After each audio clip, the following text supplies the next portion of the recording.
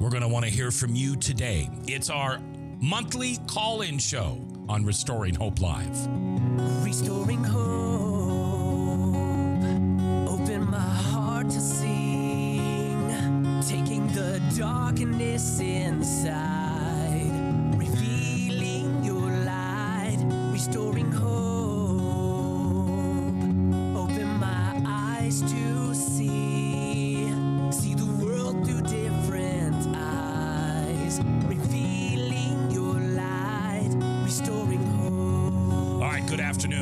21st day of July in the Lord's year 2013.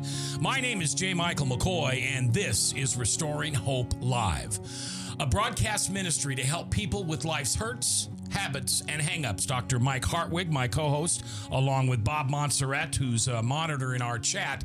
The chat is available for you online live at restoringhopelive.com. Today's going to be an interesting show, and I appreciate uh, you listening today. But I'm going to need you to call in. I'm going to give you the number. Uh, I'll give it to you. I'll give it to you half a dozen times here in just the first few minutes, so you can grab uh, your uh, P- PDF and put it in there, or you can write it down on a piece of paper, or you can put a sticky note someplace, or you can just dial it. It is toll free nationwide. One eight five five two four four double o double seven. One eight five five. 244 0077. 1 855 244 0077. You got it? You might want to put that in your PDA, not your PDF. Big difference. Is there? Um, what's a PDA? It's a personal digital assistant versus a What's a PDF? it's a like a, a file. file form. a file form. But Just put it in your phone. yeah, there you go. There you go. There you Your By the way, uh, smartphone, your dumb- PDA. From now on, we're going to call dumb phones Mac phones. Okay? What'd you say? PDAs were used in 2000, by the way. So I'm showing my. And how old were Yeah. you in 2000? I was about uh, 16. 16. Okay. In 2000, I was uh, 18. We would say put that in your app or download it, or but Mac would say go ahead and start training your rotary dial finger. Absolutely. No, I'd say get your post-it note and write it, or or grab your Dext. No, grab your Ma Bell phone book and write it under important numbers to save. Remember those? I remember. I remember every year my mother transferring. Yeah, those right. over. I did too. All yeah. right. So here's the question. And this may not refer to you. You know, so many, so much of what we do here on Restoring Hope Live isn't about you. It's about someone you know. Maybe it's someone you know, wink, wink. I have a friend who, and that's okay. We don't care. This program is here to help you understand life's hurts, habits, and hangups and help you get through those. That may be that hurt that your spouse is an alcoholic, or that you were raised with alcoholic parents, or that your child, someone you love, a sibling, has become an alcoholic, started acting as an alcoholic or a drug addict. That, that it- it's either one. But what we want to know today, because here's the basis of a lot of treatment, and, and Joe Mines is here, and I love Joe Mines with all my heart. He's a brother in Christ with me, but we see one thing different about sobriety. You've been sober how long? Um, You should know this. It's maybe like 10 and a half years, something like that. Okay. I've been sober 1,174 days. Not that I didn't know exactly what time, um, but uh, which is a little over three years. I got sober by accepting the fact that my alcoholism is a disease. It is not something I can control. I need a higher power, and my higher power is called Jesus Christ. And I need meetings. I go to 12 step meetings. I was at one yesterday. I go to four or five a week. My dad's so funny. He'll say, Do you still need to go to those meetings, son? I mean, you've been sober for so long. And I say, Dad, do you still need to go to church on Sunday? Because you've been a Christian for a long time. Um, and your philosophy is still Christ centered, but what? Uh, addiction is just like any other sin that prevents us from fulfilling the purpose that we were created for. All right. So, and you don't believe alcoholism is a, a disease. I don't. You believe it's a, a crutch? I believe that it's a learned dependency. It's a learned habit, just Okay. like most other sins. It's something that you start putting in that place of God to function in your daily life. Okay. Now, if if we believe it's a disease, I'm sorry, we do believe it's a disease, but it's it's it's a sin Yeah. to abuse it. But when you are an alcoholic, it is something that you were born with. Therefore, how do you perceive that I was born an alcoholic? I don't believe you were born an alcoholic. Okay, you believe it's just uh, uh, so. If I if I love pornography, Yeah. uh, am I born to love pornography? No, you were born to be within virtuous boundaries of enjoyment of sex. One eight five five two four four double o double seven. From the experience you've had, and don't don't please, it's Sunday. Don't look at your radio or your internet and say, I don't know anybody who's an alcoholic.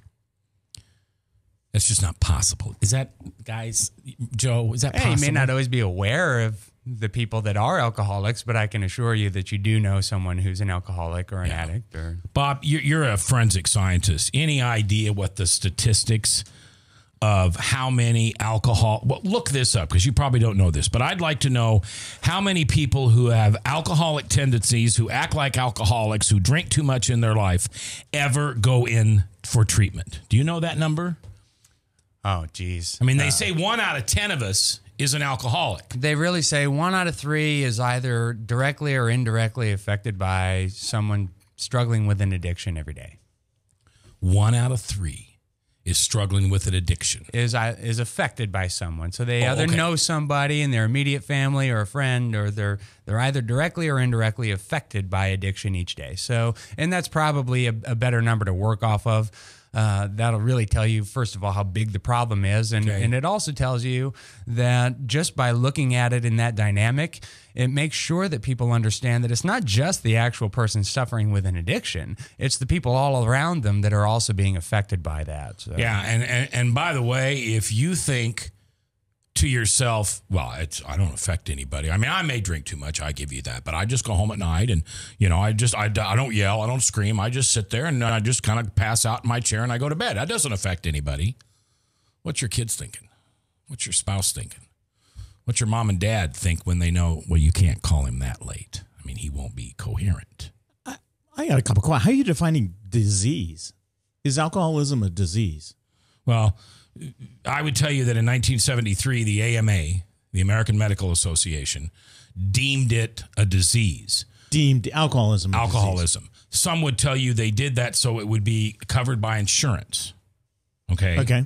You would say Absolutely, that's a that's the only reason factor. they did it. But they've also they've also deemed homosexuality as a disease too. And, And now- then they pulled it pulled it back. and also obesity. And obesity. Yeah. Just currently. But and but they pulled homosexuality back. yeah. It's no longer It a used to be defined as a as a disorder. Uh, now it's not.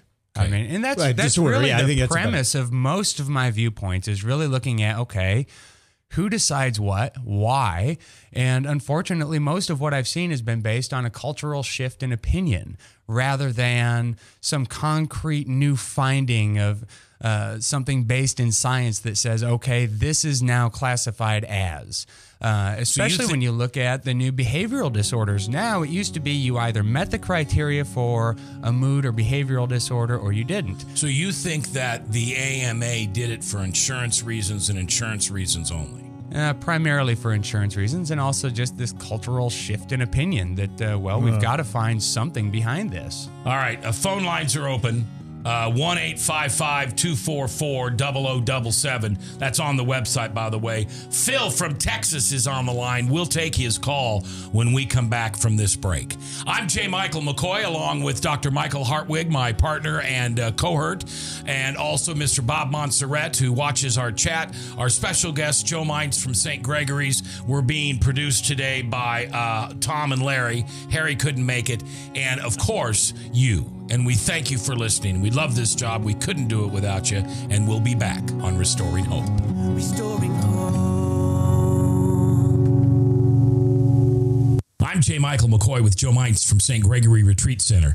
Joe, when it comes to addictions, what kind of services does St. Gregory offer? St. Gregory Retreat Center is a national leader in substance abuse treatment, and that our residential programs really first assure that someone is well enough to recover. What really sets us apart is that we're not going to enter into this idea of treatment from the standpoint that you just are a diseased person and needs to learn how to manage your life. We're really coming at this from the perspective of you are a created being and you're created with gifts and value and talent. There's a purpose for your life. There's a love in heaven with your name on it. And our job is to really help you to understand what's driven these things in your life so far. How do we give you the skills and teach you the techniques to turn around some of those negative thought processes, handle some of those negative emotional reactions to life, and really take control through an empowerment based program to help you really start to maintain some real happiness and joy in your life. And that's something entirely different than anything I'm aware of in a recovery atmosphere.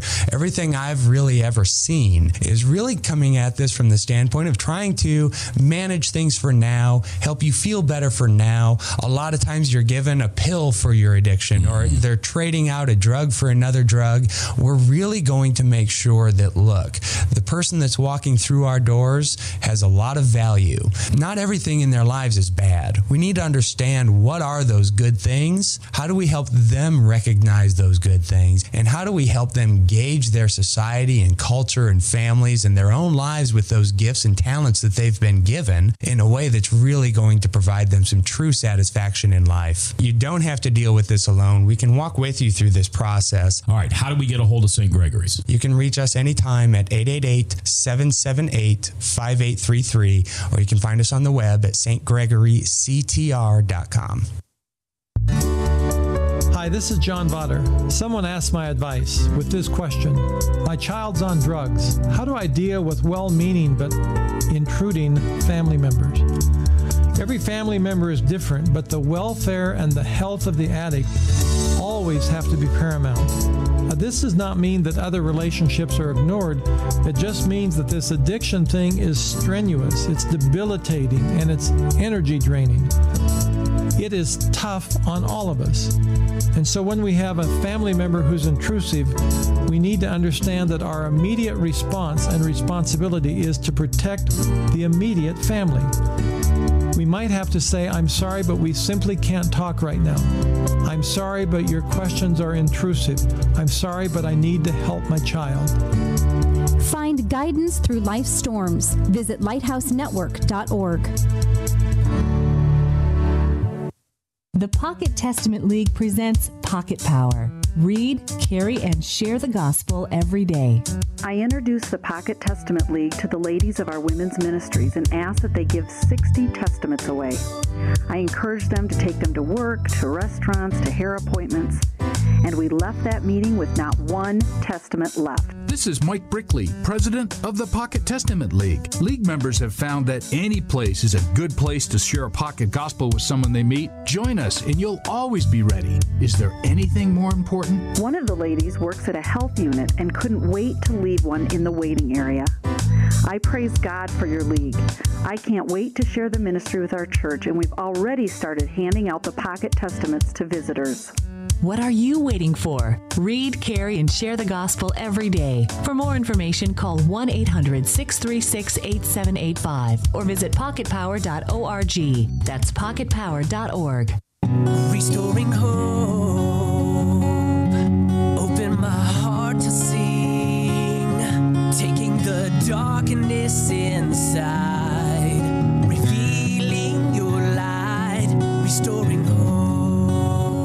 17 minutes after the hour on the 21st day of July in the Lord's year 2013. I'm J. Michael McCoy. Thanks for listening today. Love this job. Couldn't do it without you here on restoringhopelive.com. Let's go straight to our phones as we're asking people today, uh, live on the radio, is alcoholism a disease? Let's go to Phil in Texas. Phil, how are you? Welcome to the show. I'm good. I'm I agree that alcoholism, because the AMA went and said it's a disease, but also agree that it's a sin. But uh, actually, uh, when I, I called in, you very briefly touched on another addiction that actually I'm fighting with right now, and that's a sexual immora- immorality. That I'm a I'm currently in a 12 step continuing victory uh, program through another another ministry, and it's you know it's it's actually as devastating and as expensive, you know, monetarily, emotionally, uh, family, as any alcoholism or drug addiction or you know it's a it's a sickness too. Are you I- talking it's a- pornography, Phil? I'm talking about pornography. I'm talking about immoral sexuality. I'm talking about the whole bit. Phil, I'm, I'm I'm glad you reached out to the Lord to try to figure that out. How would someone approach, or how would someone at St. Gregory's approach uh, Phil in this way for his uh, addiction to pornography? Phil, thanks for the call very much. Well, St. Gregory's is always going to be primarily a substance abuse facility, but this is a really important topic, especially, uh, Bob, you'd mentioned somebody was on the chat that said, My body is just different than someone who is not an alcoholic. Well, what's different about somebody's body who is struggling with a sexual addiction?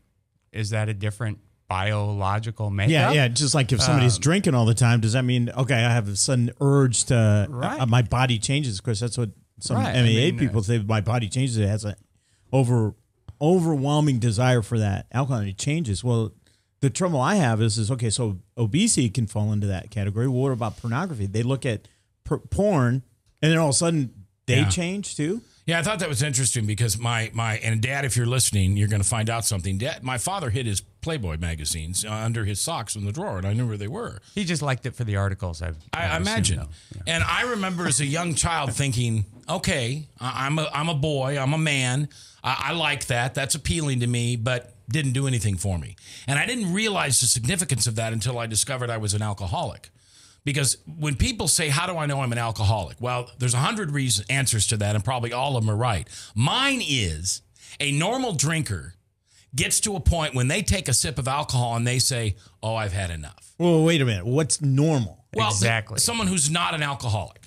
What does that mean? yeah. What? Uh, yeah. You, when right. you I'm say trying to explain a- that. when you say that there's a hundred answers and all of them are right, I would say that there's a hundred answers and mostly they're subjective and could just as easily be wrong. Okay. Mine would be when I found out that when I got to a certain point when I started getting that buzz, we all know that feeling, whether it be at champagne at a wedding. But your daughter got married yesterday. Yep. Congratulations. Thank Did you. you. have a glass of champagne? Uh, and I didn't. Ironically, Was No, there it- champagne there? Yeah, there was. Okay. Yeah.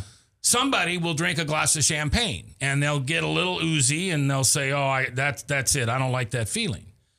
I drink a glass of champagne and I get that feeling and I go, "I want more." I'm like that big plant on that. What was that that play? The plant that gets bigger and bigger and bigger and finally eats its owner. What's the what's the what? Uh, oh, something, Little Shop of Horrors. Little Shop of Horrors. That's who lives within me. Thank you, Harry. if Feed we're talking about Seymour. pornography, it'd be a little Shop of horrors. Yes. but it's that point when, all right, I'm a little tipsy. I'm a little, I want more. And I lose my ability to understand I, I can't have more.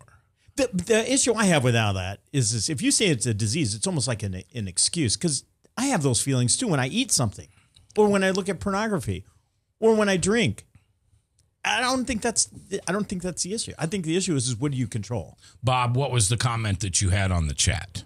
Well, as Joe had mentioned, uh, uh, this is MP on chat. As an alcoholic, my body is different than non-alcoholic. My body has a biological mandate. Once alcohol hits my mouth, and then I asked the question, uh, "Was that from the very first drink?" And he said, "From the second drink." Yeah. And that was the only thing that was weird. And Joe, you and I have talked about this. And, and when I get to heaven, God will tell me what the answer to this is. I also suffer from a mental disorder. And when I went to a specialist and finally said, I need to quit drinking, I hate drinking, I don't want to drink anymore, I'm done, he put me through a couple therapy sessions and he said, Well, Mac, you have a mental disorder. And until we figure out that mental disorder, you will continue to drink. So we spent four years getting rid of the mental disorder or learning for me to live with it. And then I, it took me four months and I quit drinking. But what he, what Bob read from that listener is exactly right. You had a drink and it and it became a mandate to have another drink. A mandate. See, Yes. Except, guess what? That didn't happen to me until I was 34. See, I I'm I a I had uh, what had, happened to you before then? We had Right. We, my, my parents had a, well, again, if mom and dad are listening, I'm dead. But they had a liquor cabinet and I knew where the key was. And I liked slow gin. I, I lived uh, in a farming community. There was always beer around. I just never liked the taste of it. So what's the difference between slow gin and fast gin?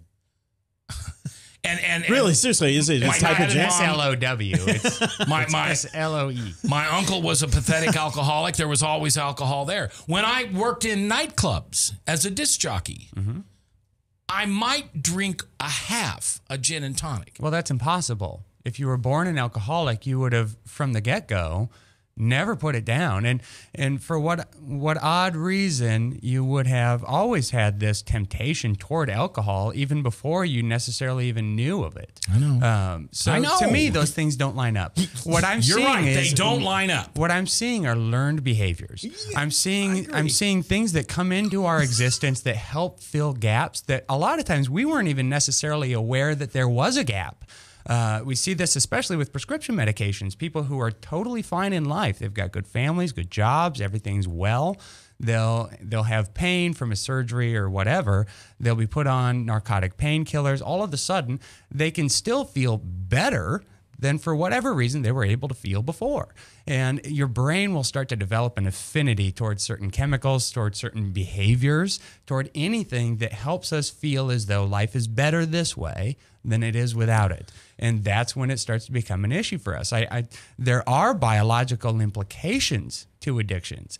We do start to retrain our brains how to function uh, when you introduce something that wasn't pri- uh, there prior and your brain sees that as a good thing especially these chemicals that are really they're affecting the same types of neurotransmitters we're going to see that as more optimally functioning whether it's rational or not Do you, Joe Mines from St. Gregory's here, and again, uh, this is a day we need to hear from you. One eight five five. 244 0077 right at the front of the website at restoringhopelive.com. Do you think uh, that your treatment at St. Gregory's, which is Christ centered, but you don't ever get them to say, My name is Mac and I'm an alcoholic? No. Right? And that's the first thing we're trained. I mean, here, I've got my, my 12 by 12. And, Well, and- well, uh, from a Christian perspective, what we would get people to say, "My name is Mike Hartwig, and I'm a sinner." And alcohol is my sin?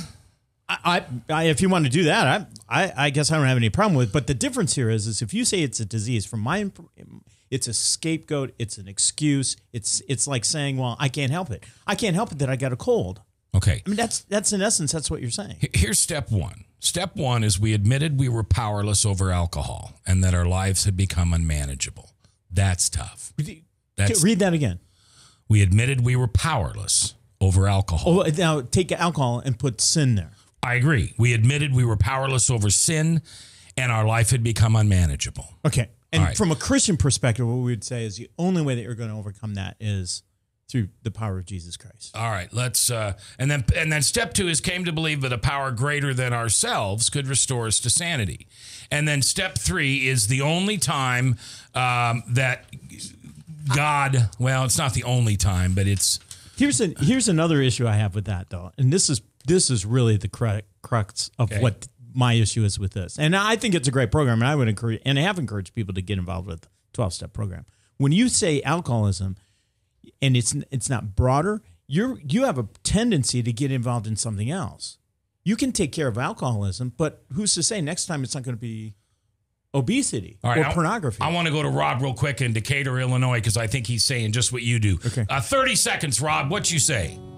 I, I agree with everything that's coming up. That we tend to focus on alcohol and drug addicts, and uh, we've all got a weakness, and the devil knows what our weakness is, and that's what he attacks. And I've never taken a drug before in my life. I've drank and and have been able to put it down when I want to put it down. But food has been a has been a problem in my life, and it uh, you know the devil knows that, and he keeps attacking it, and and that uh, so I, I think and I think we've driven a lot of people away from the church because we we focus on drug addicts and alcoholics as as having a, a real problem. See, I, I, I love what Rob says because, it- you know, I, I, I can put food down at all, but but I, I, I can't put alcohol down. He can put alcohol down and not food. We've got a free book for you from Dr. Hartwig. We'll tell you how you can get it next. Richard in Tennessee, hang on. We're coming back to you.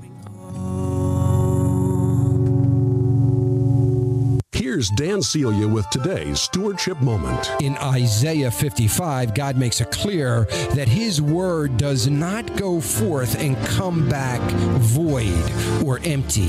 He says this, But I shall accomplish that which I purpose. I shall succeed in the things for which I sent it. Listen, I don't know about you, but I have never found a place in all of Scripture that when God spoke, nothing happened. Listen, whenever Jesus spoke, it came to pass. In my life, whether it was destruction, healing, or love, something happened when God spoke. When you read the Bible or pray, listen to what God has to say about His will for your life. You've just heard a stewardship moment with Dan Celia of Financial Issues Ministry, helping you plan, give, and invest wisely. For more information, log on to financialissues.org. That's financialissues.org. Every day I wake up at 5 to give dad his medicine. Every day I wake up at 5 to give dad his medicine. At 6 I make his breakfast. Every day I wake up at 5 to give dad his medicine. At 6 I make his breakfast. At 7 I shower. Every day I wake up For those caring for a loved one, we hear you. That's why AARP created a community to help us better care for ourselves and the ones we love. Visit aarp.org/caregiving. Brought to you by AARP and the Ad Council. This moment of uncontrollable laughter was made possible by a 32 year old man with little to no coordination attempting to execute a simple cartwheel. His name is Sergeant Warner, but young James, our laughing friend here, simply calls him Dad. The smallest moments can have the biggest impact on a child's life. Take time to be a dad today. Call 877-4DAD-411 or visit fatherhood.gov. Brought to you by the U.S. Department of Health and Human Services and the Ad Council. The Pocket Testament League presents Pocket Power. Read, carry, and share the gospel every day. If you've ever failed to share your faith because you just didn't know what words to use, then carry the word with you. I include these pocket testaments in our visitor folders at church, or I give them out on home visitations, or I leave them in public places such as mm, gas stations, malls, stores, rest areas. Hello, this is Mike Brickley, president of the Pocket Testament League. Reading the Bible every day is so easy when you always have it with you. You won't even need a backpack. You can carry one right in your pocket. What are you waiting for? I witness to people with tracts, but also leave them with the Word of God for them to read for themselves. I'm going to let my people at Fellowship know about the Pocket Power Ministry. Thank you for your work in God's kingdom. What are you waiting for? Read, carry, and share the gospel every day. For more information, call 1 800 636 8785 or visit pocketpower.org. That's pocketpower.org. Almost every school blessing classroom. I go to school with your children. We say the Pledge of Allegiance together. You see me around the neighborhood and you tell me that I'm a pretty good kid. Well, I'm one out of every five children in America, and I'm struggling with hunger. This problem is closer than you think. My teacher tells me we can grow up to be whatever we want. I want to grow up someone who doesn't go to bed hungry. There's enough food in this country to feed everybody. Please visit feedingamerica.org today and find your local food bank for ways to help. Every dollar you donate helps provide eight meals for kids like me,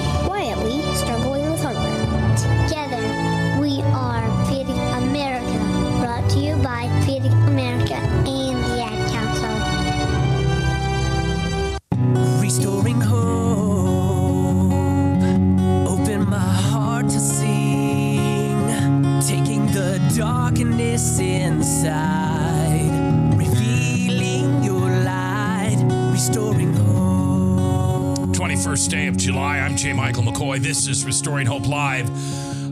Is alcoholism a disease? Or is it simply a sin? Now, we know it is a sin, but is it, is it a disease? Is it something within you? This is the day we want to hear from you at 1 855 244 0077. That number, Chris, is on the Restoring Hope Live website, right? Okay, 1 855 244 0077. We want to hear from you. And if you want, And I have to admit, I've read it. It's a really good book, but I hate to say that in front of him. Uh, Dr. Mike Hartwig has written a book called Before the Goodnight Kiss, and it's a great book on marriage, and we'll send you a copy of that for free. Let's go to Richard in Tennessee. Richard, welcome to RestoringHopeLive.com. What you say?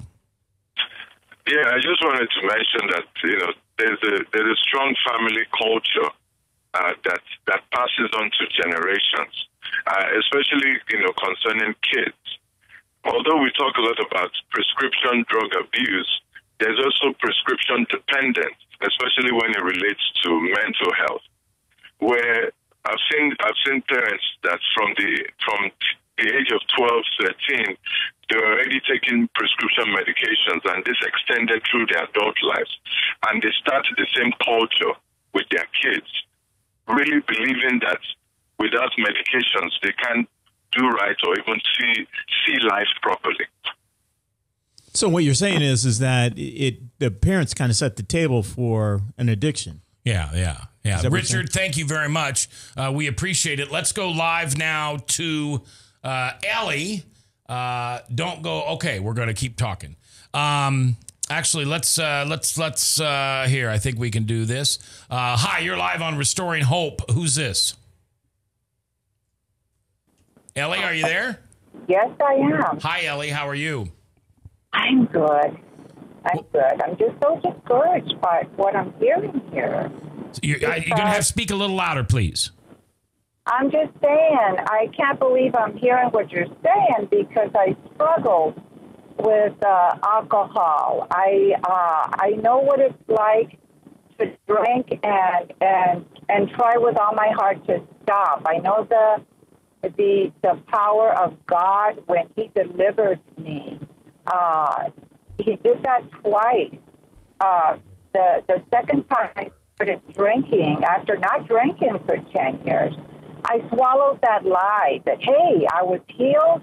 Um, I can take a drink, and I did again. And for eight years, there I was back to trying not to drink, and it was with a, a gun in my hand, and I was just going to kill myself. I couldn't stop, and once again, God just doing for me what I could not do for myself. It's for me, I cannot take that drink. My body does do something that my husband can take a drink. His body doesn't do that. Um, it's so discouraging to hear you say it's a sin, not a disease. Oh my goodness. Okay, Ellie, don't don't hang up.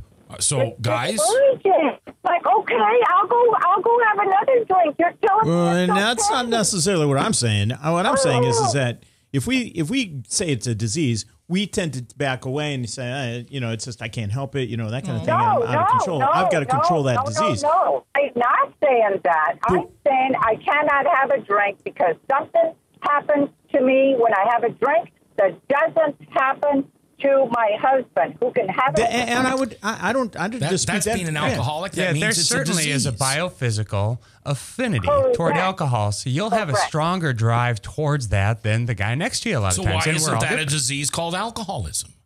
Why does it have to be? I mean, that doesn't just have to be. It certainly doesn't. I mean, to me, that's just something where okay, we know that that is not something that I ought do, and It's so an you. It's an allergy, okay? Yeah, how about that? can- my little granddaughter cannot eat peanuts. It's an allergy, okay?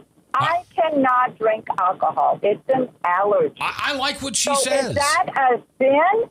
No. If my wife if my wife plays in the park around a bunch of oak leaves on the ground in the fall, she gets she has a reaction to oak leaves. So if if Ellie drinks alcohol and she gets a Oh, different reaction God. than somebody who can play in oak leaves all day, why isn't that an allergy? Why isn't that a disease? We're not saying that because you have an affinity towards alcohol that that is a sin. What we're saying is indulging in the activity to the point of drunkenness and not being in a position to carry out your God-given purpose is the sin. That's the issue. So If it's pick up that if you were to the point, Billy, where you would say, "I don't care, I'm going to drink anyway, and that's okay," which you're not. Uh, you recognize that that's not a healthy behavior for you, so you do what you can to abstain, and that's no, really the, no, the big I issue. do not. No, I do not take a drink because I know I have an allergy. It's going to take me. It's not about. Well, I'm just going to go get crazy, so I'm going to have a drink. No, no, I don't. That's not where I go mentally. Eh, eh, Ellie, I the way- if- I cannot have a drink. E- Ellie, are My you- husband has a drink. He's not like, oh, I'm going to have a drink, so I because I don't care. No, he has a drink. All right, Ellie, I'm going to put you on hold. If you'll get her contact information so we can send her a book, get a phone number too, because I'd like to talk to Ellie off air because I I can really relate to Ellie. I, I see where she's coming from. And the way I would define that is is that the alcoholism isn't a disease. The sin is a disease. The sin is a disease. So is it an allergy? No. Why do some no. people react to it differently than others? Because they choose to. no, it's biology, but I mean, an allergy is a specific thing. An allergy is an adverse reaction, whereas this isn't necessarily even adverse. It's just your brain finds that uh, to have a more likeness toward, and you'll have those cravings and urges. All right, in New Jersey, uh, Bill is a probation officer and drug related, drug and alcohol related counselor. Bill, you got stuff to say. Well, w- Tell us what you got. You think it's All a disease? No, I don't think it's a disease. I think it can cause a disease.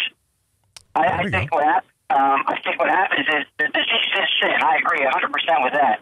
Uh, one of the best books that I've read on this matter, or the combination, is Banquet in the Grave, Addiction, Banquet in the Grave, uh, by Ed Welch. Um, and I really highly recommend it. But the thing is, what I find is the fact that these guys um, that are dealing with addiction, they have to get down to the root issue, which is the sin nature, and allow, allow us to understand that because of sin in our lives and in our society, it allows us to start behaving in such a way that causes us now to become addicted to certain things.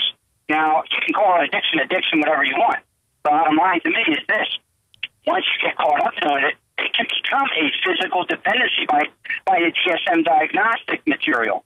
So you can get it, a dependency or an abuse diagnosis, which allows it to become considered quote unquote a disease. However, the thing is, that is the repercussions of the sin that the person decides decides to do. There we go. Yeah, that makes a lot of sense. Nicely said. Yeah, Bill, Bill, uh, that makes a lot of sense. I, I appreciate you calling in today. Hey, I'm gonna put. What? Go ahead. No, no, go ahead, man. I'm good. That's all I need to share. I, I appreciate your show. Hey, thanks for listening. I'm gonna put you on hold, and if you'd like a copy of Mike's book, which I have to admit is really good, um, get a copy of it. It's a show about marriage called Before the Goodnight Kiss. Okay, Bob, you're a forensic scientist. You are hired by uh, trials, prosecution trials, or defense, defense and prosecution, or mainly prosecution. Uh, it's about half and half. They Okay. Request. trials all over the country. You're the expert that comes in. You've spent your life studying alcohol and the effects of the body. Is it a disease? Well, I haven't considered it a disease. That that's where I'm coming from. You have not? Have- Not. have- right, not. Yeah, I You don't think it's a disease? No, I don't think it's a disease. I think uh, it's it's something, and and see, because the reason is, and I know a lot of people talk about it as being uh, hereditary. Right. Now, my father and his brothers, all of them have been alcoholics, and it didn't impact you at all. Not me, not my brother, not my sister. Well, Not there's biblical allusions to that this is hereditary because you know the sins of the fathers pass on to generations, and Sure, I mean, so, yeah, and it didn't in this case. and case. it didn't, yeah, and, yeah. And it- Why? because the Lord intervened. Ah, yeah, right.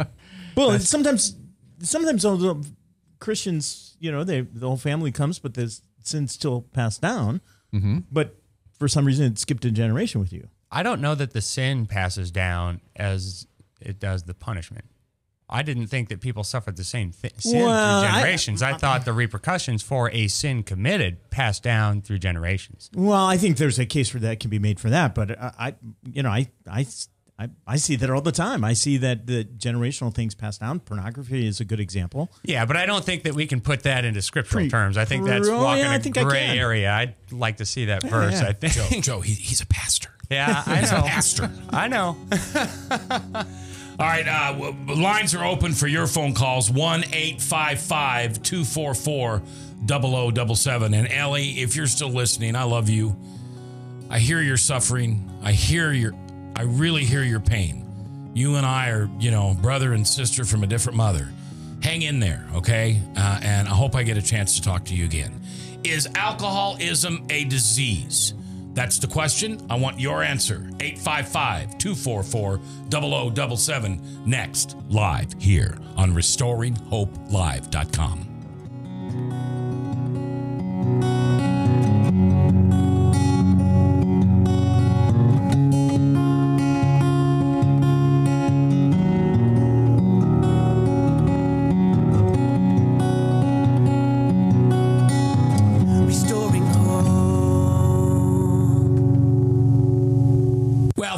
was alcohol. For you, it might be drugs. I'm J. Michael McCoy with Joe Mice from St. Gregory Retreat Center. Joe, you say St. Gregory Retreat Centers are different. What's so unique about your approach? Well, first of all, St. Gregory Center is more of an intensive training program than just an addiction recovery center. We help our clients set some very ambitious goals for their lives by focusing more on empowerment and leadership, physical health and healing, and a life of virtue. This goes far beyond mere sobriety, which frankly is why so many more of our clients achieve just that. Hmm. Can you can, give me some more examples of how, you know, St. Gregory does this? Absolutely. First of all, we believe you need to be well enough to recover. For this reason, every guest will spend at least a week with our medical team preparing physically for that recovery. This involves our proprietary IV neuro restoration therapy, as well as very specific nutritional regimens. So, once someone begins to heal physically, then what? Well, now we begin the real work on teaching them how to reevaluate this process of events in their lives and to better understand why they think and feel the way that they do. Our program teaches how to change your thinking, how to modify your behavior to obtain better outcomes, and we really focus on teaching the life skills needed to truly find a life of purpose, joy, and fulfillment. Wow. Okay. That, that I've heard enough. I need to get a hold of somebody. Tell the listeners how they can get a hold of St. Gregory Retreat Center. You can reach out to us at 888 778 5833. We have counselors standing by at that number. Again, that's 888 778 5833. You can also do a Google search for St. Gregory Retreat Center and find us that way. Or you can go to your website at restoringhopelive.com and click on our logo. Here's Dan Celia with today's stewardship moment. I'm always amazed at how quickly we get off track when it comes to our giving. I guess I've been guilty of that myself from time to time. But Proverbs 4:23 says this: "Keep your heart with all diligence, for out of it springs the issues of life." Now, the way I understand that is the issues of life that the writer is talking about is pretty much everything that we do. See, if we get off track with our stewardship, with our giving or tithing, it's because of what springs out of our hearts. You've just heard a stewardship moment with Dan Celia of Financial Issues Ministry, helping you plan, give, and invest wisely. For more information, log on to financialissues.org. That's financialissues.org. Hi, this is John Vodder. Parent said to me, My child is on drugs. Is it all right to separate myself from negative people in my family? Well, my answer was very direct yes, that is all right. I'm a firm believer that both the addict in recovery and his or her parents must separate themselves from anyone who cannot be positive, who cannot be encouraging, who cannot be faith building. When drugs invaded our family, I made this decision. Uh, some wanted to know every sort of detail, and this seems to be not their business. It seemed to be that they simply wanted to be a peeping Tom into our family. The Apostle Paul said we should focus on that which is honorable, pure, lovely, and commendable. So I say to parents if you need to step away from certain friends, Find guidance through life's storms. Visit lighthousenetwork.org. Restoring hope.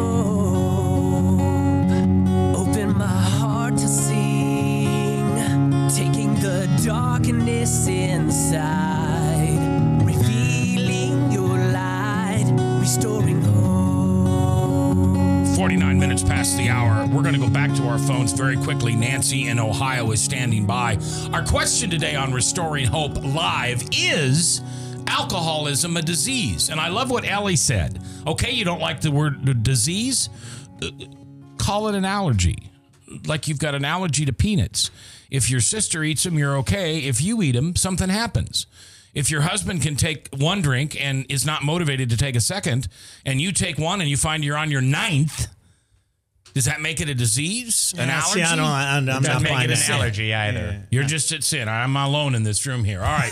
uh, is Nancy still on from Ohio? All right, Nancy, you are live on Restoring Hope in Ohio. How you doing, Nancy? What do you say? Is it a disease? Well, that is a really good question. I um, am quite involved in Al Anon, and I believe um, that it's a huge, gigantic help um, to the families of those who are afflicted. Um, we talk about it in Al Anon as a disease, um, and it does seem to very sadly go from one generation to another with all kinds of behaviors, um, not just the desire to drink. And um, yet, I am at this point when it's interesting that you're talking about this. I have been um, writing down scriptures as I've been going through the uh, Bible, starting with Proverbs 6.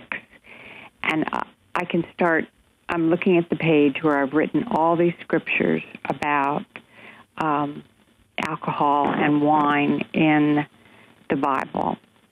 Um, and, you know, I can start, you know, giving them all to you. I think it would take more than your radio time, but um, it is uh, just such a blessing to have the 12 steps to work on in AA. Apparently, I've never done it, but also with the family. Um, So are you saying that it's a disease or it's a sin? She says it's a disease. I'm sa- I said at the beginning that it was a disease, but it it's is a disease. Also it's also a sin. All right, Nancy, you hold on. We want to get your information so we can send you a copy of Mike's book before the Good Night Kiss. Let's go to New Mexico. Jim in Nebraska, stand by. Let's go to New Mexico where Amanda is standing by. Amanda, is it a disease or not? Amanda, is it a disease? Hello. No, it no. Can you hear me? I can hear you. Yes, I don't think it's a disease at all. I think it's a sin, and uh, I can't quote the scripture exactly, but it's in Hebrews, uh, the uh, eleventh chapter, where uh, Jesus talks about the sin that so easily beset us. We can't run our race be- because of the sin that so easily beset us. We all struggle with a sin. No two people's sin will affect them the same way. It is the sin, but the um, the the manifestation of it may be different. Like the lady wants to call it an allergy to peanuts. The other caller before me, you know, spoke about um, uh, beer, wine, vodka. You can call it whatever you want. Those are still called spirits. Still called sins. Yes. All right. Amanda, thank you very much. Let's go to probably a man from the greatest state in our 50 state union, the state with the greatest football team that ever took the field Ohio? in all time. We're talking Texas. Oh, All right. Ohio? That's Jim great. in Nebraska. How you doing, oh, Jim? Hello. Speak Hello, up. What do you you think? Is it a disease? No, I think it's a sin. It's, a, it's an original sin. The rest of the flesh, rest of the eyes, boastful pride of life. We've all inherited that same sin. Yes, The sir. sin. It doesn't matter what it is, whether it's alcohol, whether it's tobacco, whether it's pornography, whether it be anything. It is a sin. Preach, brother. It's a sin against Almighty God. Jim, what town do you live in in Nebraska? I live in Virginia. I'm a trailer trucker by trade. Oh, I'm, I'm, I, I was born and raised in Beatrice, brother. Go Big Red. Okay. All right, thanks for being there. Let's now go to Tina in New Mexico. I love this girl. She says it's a disease. Tina, why do you say it's a disease? It's a, dis- it was discovered. Okay, if it had been discovered today, I'd be like, yeah, they just trying to get away with something. But in 1939, a doctor who had treated 40,000 patients, um, Dr. Silkworth, said it's an allergy. There's something that happens inside my body that doesn't happen inside normal drinker. A normal drinker is not going to crave alcohol after taking one drink. I do. And then there's some more men that did work, found out that there's a chemical in my body that doesn't get processed properly, and therefore, because it doesn't, it tells me to drink some more.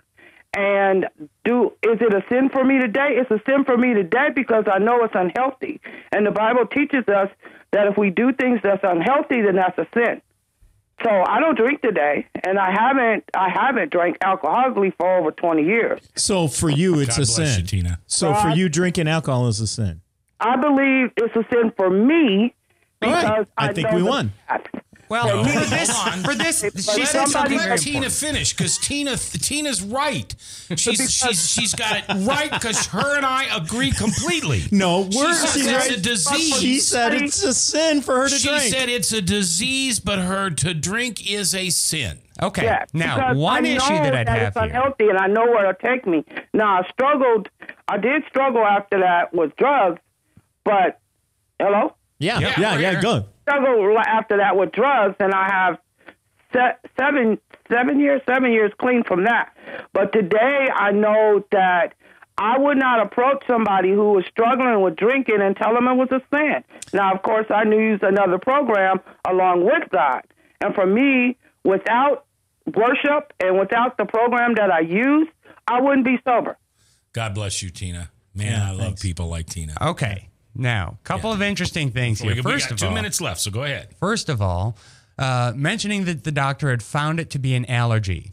Well, that's not what we're talking about. And first of all, there is an allergy to alcohol. You can have a reaction from it where you break out in hives and get the rash and all of those things. Yep, that's an allergy. That doesn't mean you're an alcoholic in any way, shape, or form. There are plenty of people that have an allergy to alcohol that will break out and do all the things that allergies cause from having a drink. Now, so we can take the allergy thing off the table. Okay, it creates an allergy, but that's really not what we're talking about. If we're going down the rabbit hole of alcoholism, now we're talking about what is the nature of the thing that drives someone down this this hole of urges to drink. That is a behavioral issue. It does Is it- have and- biological implications. And it's a learned behavior. It's a learned behavior. What you say, brother? Disease? Or Therefore, since we are surrounded by such a great cloud of witnesses, we must get rid of every weight and the sin that clings so closely and run with endurance the race that is set before us. that is what? Hebrews chapter 12, verse 1. Chat room basically a disease or not? On the chat, the, the one the one person here is saying it's a disease. Okay. What can we agree on? It's a sin? Joe Mites and St. Gregory Center say that regardless of what you call it, there's certainly no reason we can't get you through it. Right. And I think that is the most important thing. Um, um, first of all, every one of our callers, I think every one of our callers admitted that they had a spiritual awakening. They didn't say that, but they had a spiritual awakening, if not a spiritual experience, during during when they or their spouse got sober. The second thing I heard was that a Christ-centered program and surrender to uh, our God who manifests himself as Jesus in the flesh and the Holy Spirit in today, would tell you that he is a necessary element to remain sober and true. Amen. Thanks, Dr. Hartwig. Thanks, Joe Mites. Thanks, Bob uh, Mo- uh, Montserrat. Montserrat, yes, very good. Christmas. And Joe, Curley, Harry in the production room. We appreciate you guys there. We'll see you next week live here for restoringhopelive.com. And until then, do me a favor for your ministry, for the things you desire from your Heavenly Father. Remember, to get them, just pray.